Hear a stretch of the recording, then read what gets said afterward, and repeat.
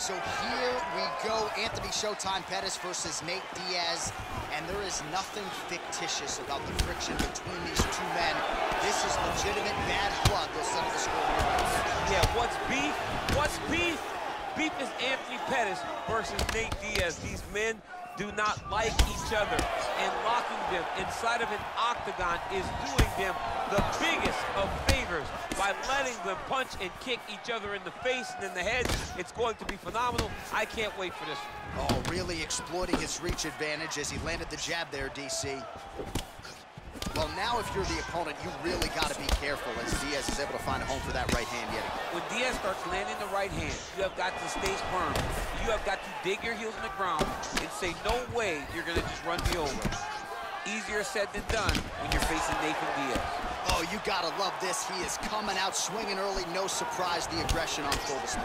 No, he said he was going to take it to this guy that is exactly... Looked like it did stun him a little bit. Oh, he's hurt bad. He's hurt bad, John. He's got to press him. He's got to go chase that finish down now. Oh! Combinations here. Oh! So just over 20 total strikes have landed for Anthony Showtime Pettis. Oh, there he goes working off that jab again. How's your jab? I mean, the jab's nice. I love throwing the jab. But you realize that as MMA evolves, guys will start to fight.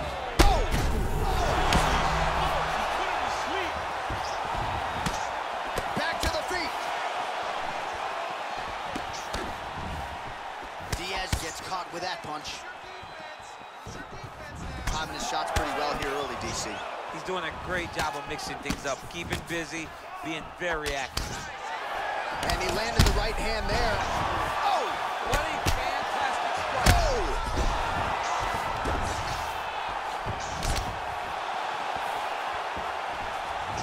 Oh!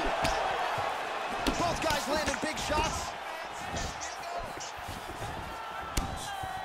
Every time these guys come together, man, you just hear the, the punches and everything landing. Both, both very powerful, very, very explosive. Diaz gets caught with that punch. His chin is held up thus far. Got to shore up the defense here, though. Strong knee attempt, but it's blocked. All right, so there he goes, continuing to land that jab. When they put this highlight together, it's just going to be one head snapping back. It's going to be... Whoa! He needs to start looking to finish now because he's got his opponent hurt very bad. Oh, he might be out. Good right hand. All right, good job by him there to raise the guard and protect his head. Oh! Maybe the best strike he's thrown tonight. The biggest shot that he's landed all night. A massive uppercut land. All right, let's get to the replays from that previous round, and you got to think they plucked that flying knee, huh? Oh, it was beautiful. It was great to see someone be this free in the octagon. See an opening, take anything that shows itself. That flying knee was perfectly timed and landed beautifully. Come on, hey, grab seat. Listen, look at me, look at me, look at me.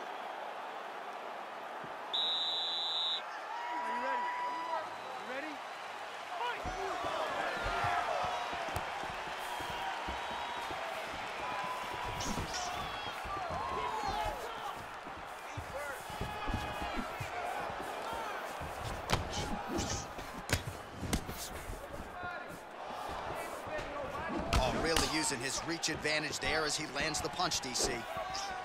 Great punch landed with so much power. Oh, and his head still attached to his body. The last time I saw an uppercut like that, it was Overeem versus Ngannou, and you know we still haven't found Overeem's head. Continues to mix it up, going to the head, mixing in some body shots. How good is that jab from Nate Diaz? Almost as if he's been doing it for 20 years, I mean, he has been doing it. You know, he's got a great boxing coach in Richard. Oh! Dude's hurt. Serve him up. Go get him. And now he lands a combination. Oh, he might be out. Man, these guys are throwing back and forth.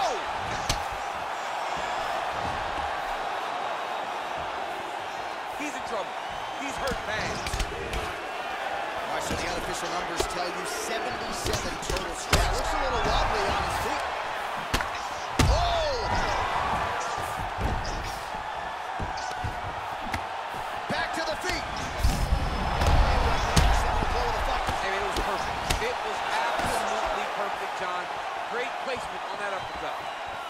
Oh! Huge right hand! Oh, he's hurt bad. He's hurt bad, John. He's got to press him. He's got to go chase that finish down now. Just over two minutes now to go in round two. Visibly limping here. That'll do it!